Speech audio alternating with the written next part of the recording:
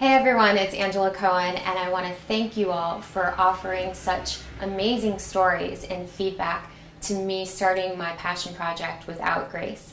This is a film that's near and dear to my heart. It's based on a true story, and it talks about a very important topic mental illness and substance abuse. Mental illness affects one in every four people, and that was so apparent in the flood of emails I got in response to my outreach to you for collaborators and personal stories. I was honored that you were able to share such touching moments, such scary moments, such heartbreaking stories. We've all gone through it.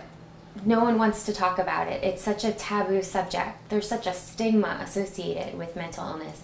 But that's exactly why this film needs to be made.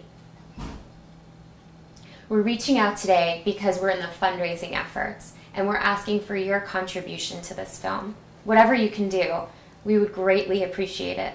We're fundraising $25,000 to make this film and to make it at the quality that festivals will just eat it up and want to put it out there so that more research can be done and the conversation can be had.